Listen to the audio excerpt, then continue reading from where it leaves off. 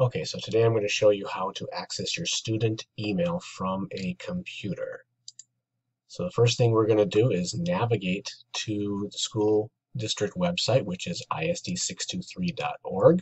Uh, you can do that on your favorite browser, Firefox, Chrome, Safari, or what have you. And when you get there, you will then click on Students and then Google Apps for Education. That is how you will get to the Google login for your Google account, your student Google account.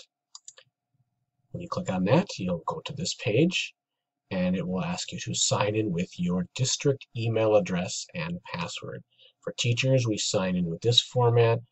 Here it says students, last name, first name. However, that is only for kindergarten through 12th grade students. For our students, we sign in with FV and your number at apps.isd623.org such as, such as like this one here.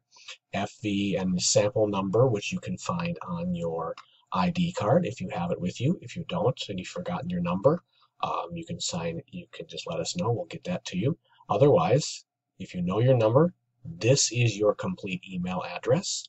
FV, your number at apps.isd623.org. That is your email address and it is a Google email address just like any other Gmail address.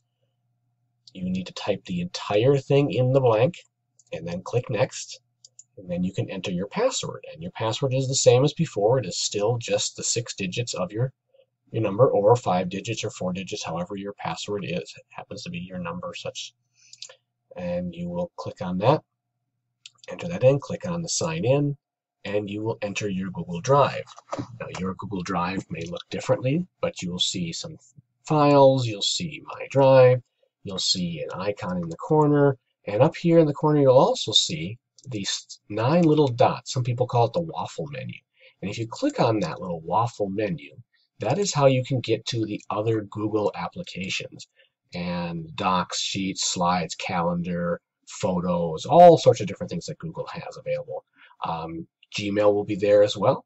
Um, it may be near the top, it may be farther down, but if you click on it, like that, it will then open your Gmail.